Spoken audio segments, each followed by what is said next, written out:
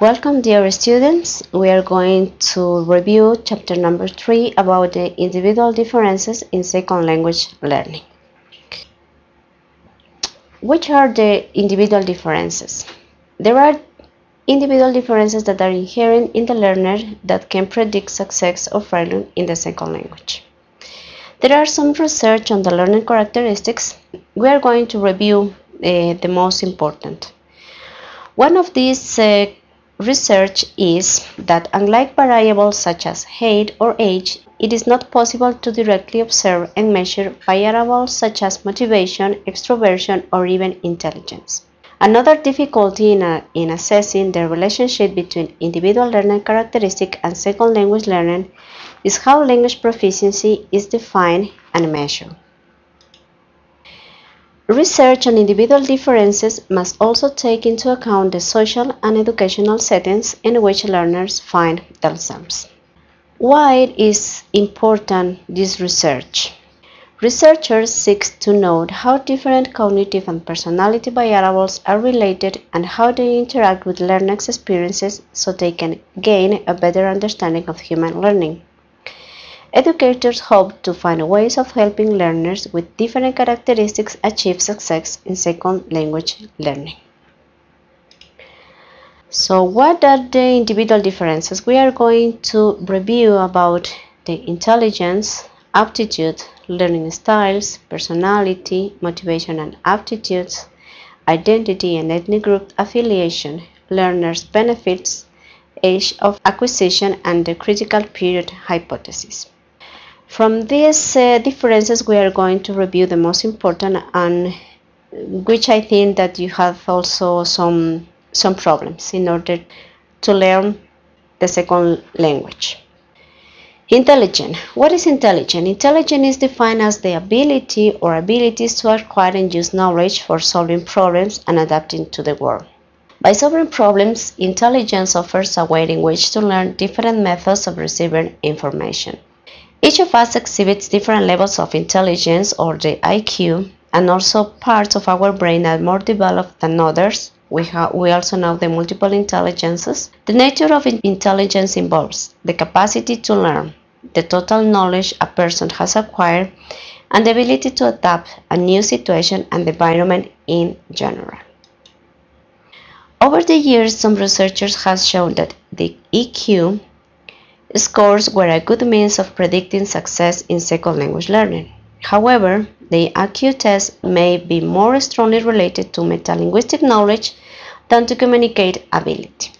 I'm going to present or I'm going to review this research or this study in the French immersion programs in Canada. This uh, research was conducted by Fred Genesee in 1976 he found that while intelligence was related to the development of French second language reading, grammar, and vocabulary, it was unrelated to oral production skills. The multiple intelligences was developed by Howard Gardner in 1993. It says that the multiple intelligences suggest that the traditional notion of intelligence based on IQ testing is far too limited. There are proposed eight different intelligences that Gardner accounted for in broader range of human potential in children and adults. Which are these intelligences for Gardner?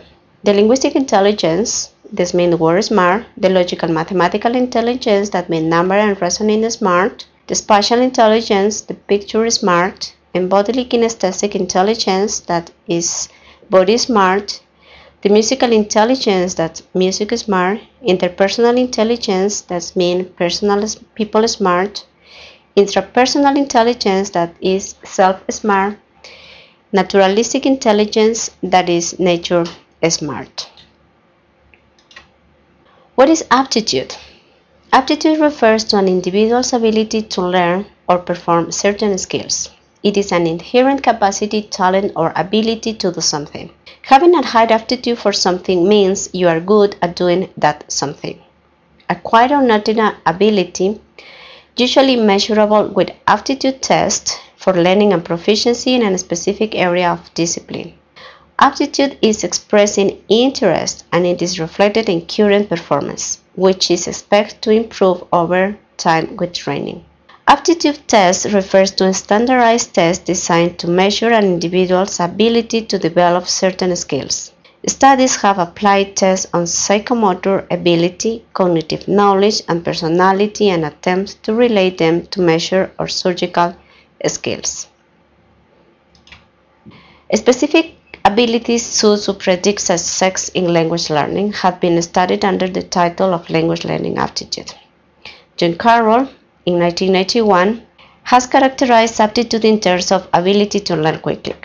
There are other aptitude tests in the modern language aptitude test, the MLAT, that was co-created by Carroll and Sapon in 1959, and the Pimsleur Language Aptitude Battery that was created by Pimsleur in 1996.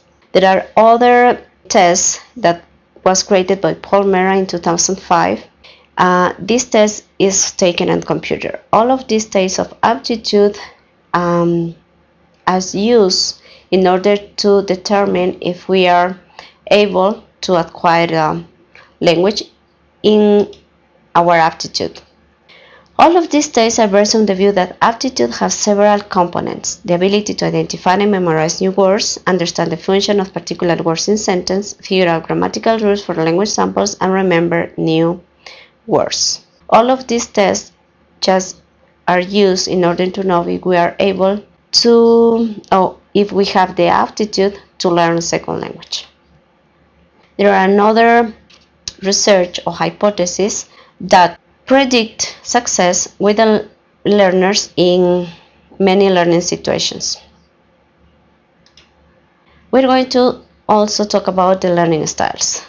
In 1999 defined learning styles as the composite of characteristics, cognitive, affective, and physiological factors that serve as relative stable indicators of how a learner perceives, interacts with, and responds to the learning environment. Stewart and Felic Felicetti in 1992 defined learning styles as those educational conditions under which a student is most likely to learn.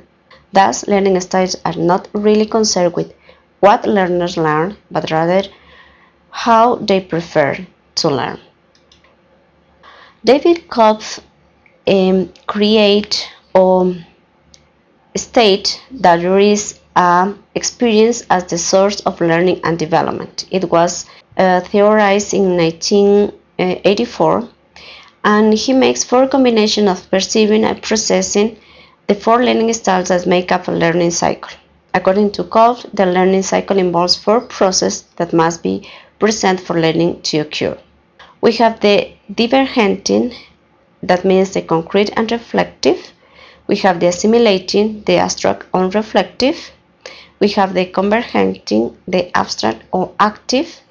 And the accommodating, we have the concrete and active. We have here a um, picture about the Kolb's learning styles. You can see that we have the accommodating, the diverting, the converging, and the assimilating.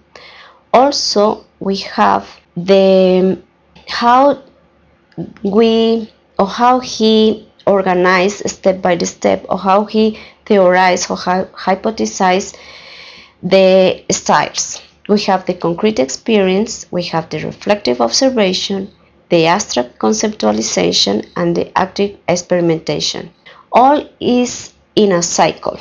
And with this cycle we have how people learn according to each style according to what they want. For example what they feel why they if they like more to feel if they like to think if they like to watch. All of these um, styles are related in this in this cycle. And this is a, the um, hypothesis of of Kolb, how we can learn.